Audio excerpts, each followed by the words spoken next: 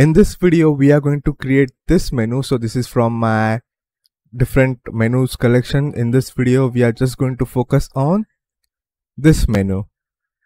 You see? And if you want to get a template, there's a paid template on my website and there are lots of them. So it's not just this template. There's also uh, this one also. It's included all together. It's in my collection. So many different types of menu. You could see cool stuff like this animated stuff this menu and then there is also more. Uh, there are three more extra stuff but that you could check on my website. But in this video we are going to learn how to do this. And again if you do not want to start from scratch you could get it for the paid template on my website. The link would be in description. So first i'm just going to create it on this uh, website that i have and then i'll show you how to move it to an actual page. Probably you would be using it in headers and footer page builder which comes with your elementor pro or if you do not have pro you would be using the free plugin add headers and footers for elementor something like that. And obviously if you want to buy elementor pro the link is in description. And if you use that link you could support me. So first thing first we need to actually create a container like this. Instead of this we will actually create a second container. This would be where our all these menus would be. And i'm not going to make it look pretty in this video because i just want to show you how to do it quicker rather than just uh, wasting too much time on making it looking prettier okay so this first container i'll just make it go from left to right. Like this and inside of this i will add two containers. Okay so let's add one. So let's just call it as like main menu or something and then we can just call this as left and then let's just duplicate and call this as right something like this. I'm just going to make this one be around uh, 95 vh so that it's this much height. And again it does not really matter what size you use in this one because this would be controlled on where you have uh, used your uh, where you actually use this menu. And I, will explain it later okay? So don't worry. Uh, I'm going to give it a color of yellow. Something like this. Give it a border of I guess 10 and then we have in the left section I'll just make it I guess 35 and then this one would be like 65 so just style it however you want. It's not much complicated then I'll just give it a heading and call it I guess home like this home. And then maybe let's just use the same color so that it looks nicer. Okay. This text I'll make it black make it bigger. Again I'm not going to style it much. Give in this left one I'll give some padding like uh, 150 maybe left 50 and I think that's enough like 20 on the right or something like this. This one we need to give it a css class of i don't remember so i'm just going to keep going into my like this template that i've made.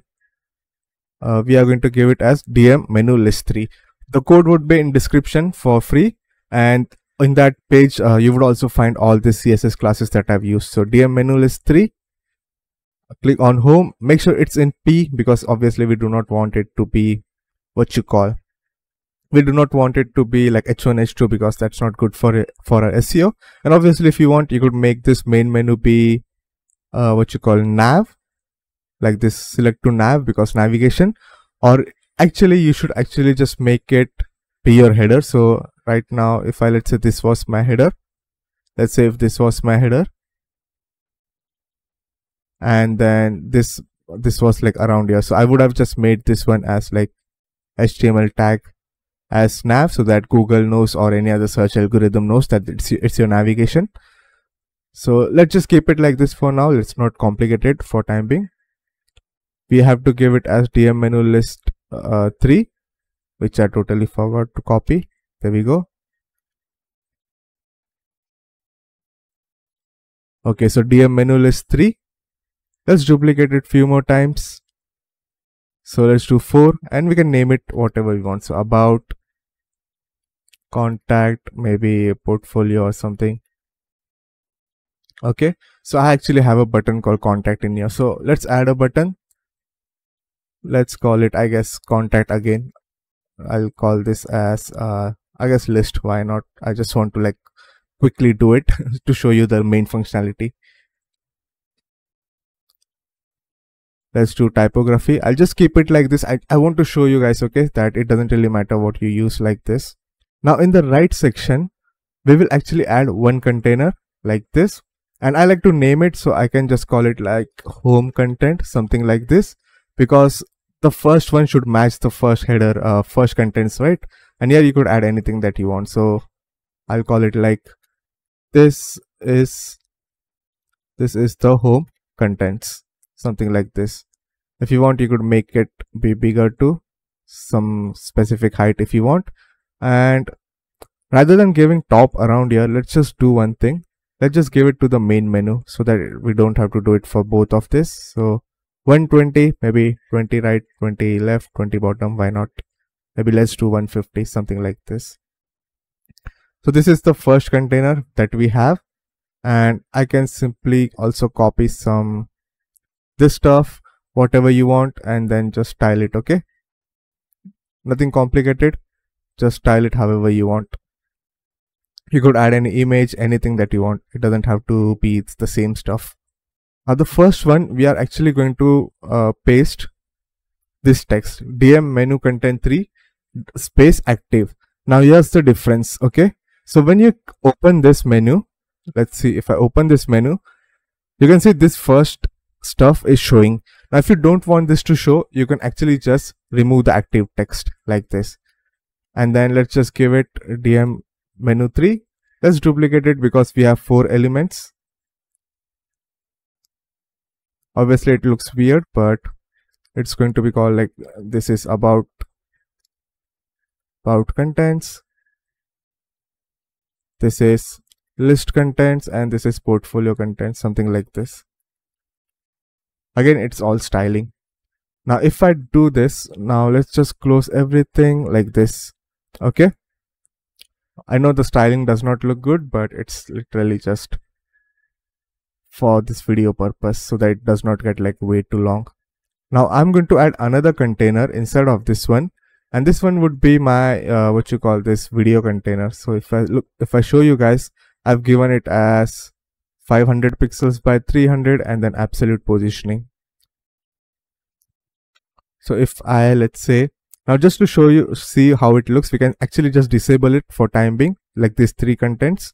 And then this one, I can just make it, I guess, 500 by 300. And then you could simply just add a video uh, link around here. I'll just add the same video link that I have inside of this one. Doesn't really have to be a video. It can be anything like just uh, map location or anything that you want. I like to have video so i'll keep it. And then i'm going to give it position absolute right and bottom like this and then play around with it until it's good enough. Just make sure because when you do this when you use position absolute it does not take other elements in consideration. So if you have like lots of element in here this might just go on top of it and then hide it in case of responsiveness. So keep that in mind based on what height and size you use around here so now we got everything like this. Okay stuff like this. So i'll just hide it. Uh, we can also name it like better like about content and all. So when you do it for yourself just do it. So a quick rundown what i've done. We added main menu. We added left and right container. This is going from left to right like this and has padding of 150 in the left we have four headings and then a button in the right section, we have multiple containers, all of same size, and one more container which has video, but this has been given position absolute so that it does not take any space. The final thing is we need to copy the code which I'll be giving in description. Uh, you just need to like uh, add an HTML widget like this inside of this one at the end. It should always be added at the end. Okay. Let me copy the code let's do it like this. So it should always be added at the end. Like this. And let's do publish. Let's see what it looks like at least for now. Now you can see nothing's happening because we totally forgot to add this hamburger menu icon. So let's add an icon. I'm going to add it inside of this one. So icon like this. It is actually gotten below. So let's place it at top let me make this into a bar you could add it anything you could add button if you could add Lottie animation you could add html widget that changes the uh, what you call design. If you go to CodePen, you could actually find uh, nice hamburger menus that you could use for uh, what you call for free. You basically would be just using like HTML widget and then copy pasting the code that they have given. If you check in my full uh, the, in this template, if you like check the full menu, I have used that. Okay. Or if you check the full menu videos, you will actually find that code. So just look into my blog or subscribe to it to see when I upload it basically. Those are like better uh, what you call hamburger menus. So we got this. We simply need to give this class of dm menu icon 3 where is it? Okay dm menu icon 3 let's do preview how it looks obviously nothing's happening because i totally forgot to add the css class to our menu container okay so this is the menu container I've given it as DM menu container 3.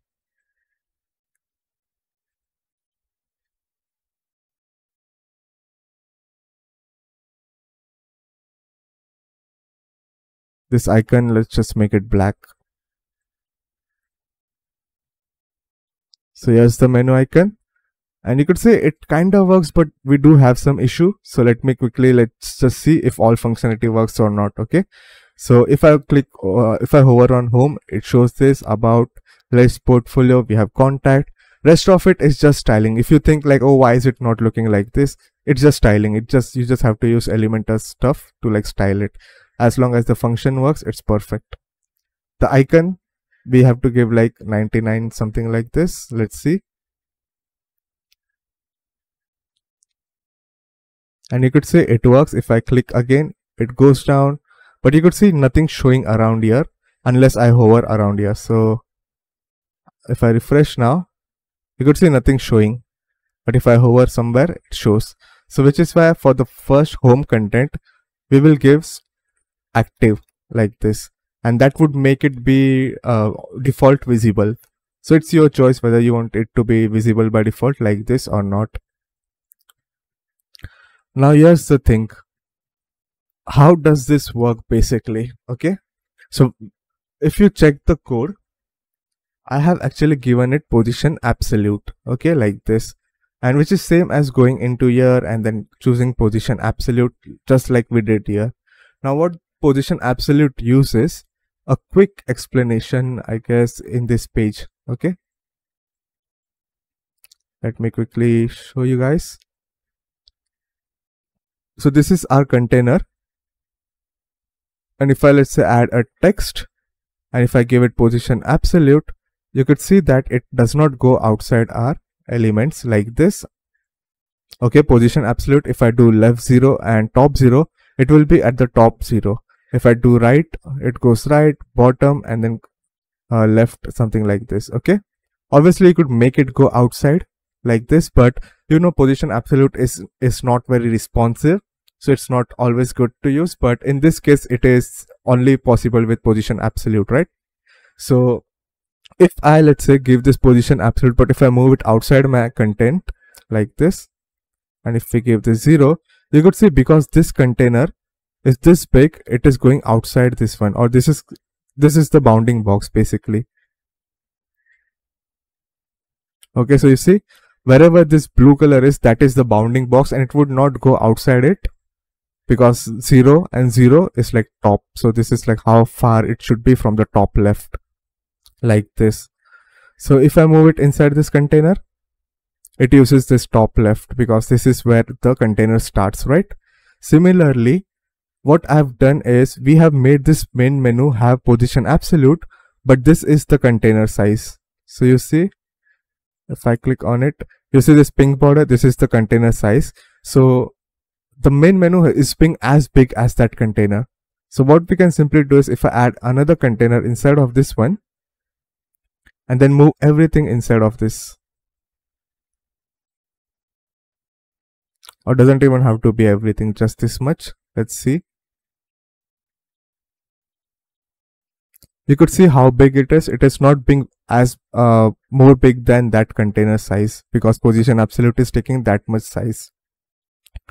So right now, if I want to move it to my header, so the way I've made this header is like this left container and then right container and pretty basic header, right? And it would be like very case by case based on how you have it. So the first thing what I want to do is I want to create another container inside of this one and then move everything inside of that. So move my left container inside of this and right container inside of that. Like this. Make it left to right do some settings that that needs to be done. Make this full width. So now i have this header which is full width and i have this container and this header has like 50 padding on the left and 50 padding on the right so this container has like left 50 padding and left 50 padding so now if i try to move my icon i can move it into my right uh, container, right? Because icon does not matter. And again, remember this is for non-sticky version. So if you want your menu to be sticky, just wait for a while. I'll show you how to do it. Okay. So right now you can see the menu is not sticky. So this is for sticky menu. Okay. Next step is to take our main menu.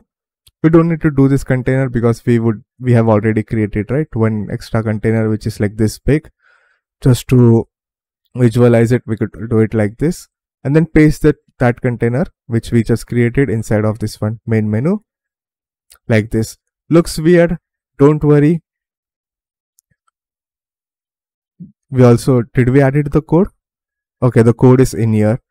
Okay, so I'm just going to remove, uh, copy this code and then remove it so that it is like much more nicely organized. And then paste it outside this one so it's like nicely organized. Let's see if I do preview what it looks like.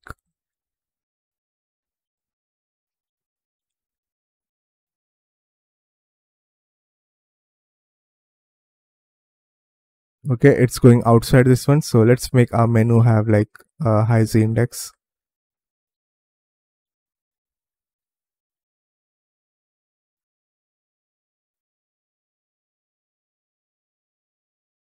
And guess what? It just works nicely obviously do some left right padding it does don't make it like this big so if you check in this one it's not really this big so if i show you the original one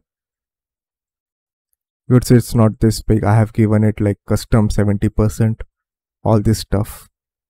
So rest is just styling but again this is not being visible like this uh what you call this icon. So let's make it like even bigger like 9999 something like this. Again it's not being at top. So let's see why that's happening. So this one has been given. Let's give it like 999 and make sure our icon has more. So 9999 okay now it should work and obviously if you want you could just play around with the styling however you want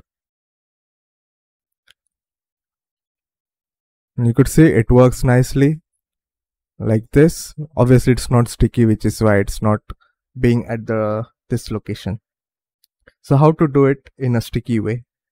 So when you're doing sticky, let's say if I make my header have fixed position like this and obviously give it like 99999 and you could see as soon as I do 9 one more everything just pops up at the front. Even the logo this one and all of this. Because when you you because this is like the parent container right? And everything is like child container. So it doesn't really matter what you have used inside of this. It just does not work. I'm just going to delete everything okay? So just to start from scratch. So that my brain does not like stop working or something. So this is the header and this has been given 999 and it is like sticky you see now because this if i add something like 999 around here it just does not work for rest of the elements so what we can simply do is we can just use like a different uh, different container basically so let's create a new container completely. Let me just place it around here. Or maybe let's place it below so that it's actually visible and not getting covered from this. I'm going to do the same steps again, what uh, the steps that I did before, which is copy this one and paste it inside of this one right now. So this is the icon. Uh, where is it? Okay, it's on the right side. Now this icon, I'm just going to go and type position fixed like this and make it be like on top and make it go on the right side like this because when you use position fix it does not matter where your or where the elements are where it is it just uses and sticks like this and it just uses like this whole canvas as a position. So if i let's do 50 and then move it a bit below maybe 30 and basically in this one we can simply just give more padding to the right side. Uh, rather than giving this container again you do not need to use like an extra container like this if you are planning to do sticky from the front uh, from the start so there is no reason to use an extra container like this. That's only re uh, required when you are using the different method. Okay so 35 something like this. We have given padding and it's around here and it now looks perfect. Now we need to copy our main menu like this. And i'm going to do is paste it in here. Let's see if that works let's do preview. And i know it's not going to look perfect. I just know it because we haven't added fix to it. But let's just see how it looks right now. You could say it is it is doing some stuff around here. It is getting covered behind. So here's what i'm going to do. I'm going to go into my code and i'm going to make the position be fixed around here like this. Or if you want you could simply just remove this three stuff too. And then uh, where is it? Go into our main menu and then use this uh, this one too. So that you do like this. Make sure it's on the right side. And then how much it was? 50 and 35 so we need to make sure it's similar for time being. Like this let's do preview. Uh, another thing we need to give this one like higher z index. Our icon should be the highest one. So 9999 i will give this one as 1 2 3 4 4 9 we can just reduce it. So 9998 so that it is one less than our menu. If you have better method you could completely use it. If you have pro version i think you could simply just go and then choose uh, motion effects and do position sticky at top and it should work. You do not need to do these steps. I think so. And this is how it looks right now. Okay. So a bit weird but again you need to play around with it until you find something that works. So let me just refresh this page in my editor. Okay i refresh the page. Let's see if it works in the editor. Okay it does work. So this would allow us to like style it better. Sometimes it does not work in editor and it can be kind of annoying. So i'll do something like this. Now in this menu what i'm going to do is go into layout and right now it uses like full stuff like this okay? And obviously you could reduce it but what i like to do is instead of doing stuff like this i'll do is type calculate 100% minus and let's and then we can it's, it's, similarly adding like padding on the left side. So if i want 50 pixels of padding on the left side i could do that 80 like that. So every time we uh, change the size it would always have the same uh, difference around here. You could see it would always be 80 pixels. So it just comes down to like how much you want to how much space you want like this. So 40 and then it looks perfect. Let's just check in the preview. Okay.